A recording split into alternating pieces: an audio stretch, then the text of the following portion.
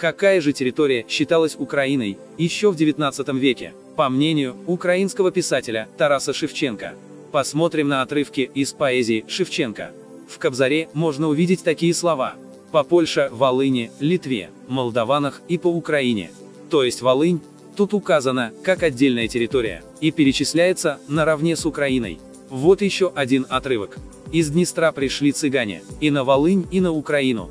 Опять Волынь и Украина, тут отдельные, друг от друга, территории. Да, это все были разные территории, а точнее области. Проще говоря, слово «Украина» имело статус области, такой же, как сейчас имеет та же Волынская область.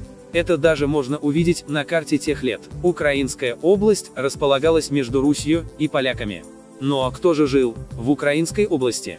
Это мы можем узнать из украинской, в кавычках, летописи, созданной в Чернигове. Сразу видим, что там тоже Подолье, Волынь и Украина указаны как равнозначные области. И видим черным по белому, что во всех перечисленных регионах живут русские или даже россияне.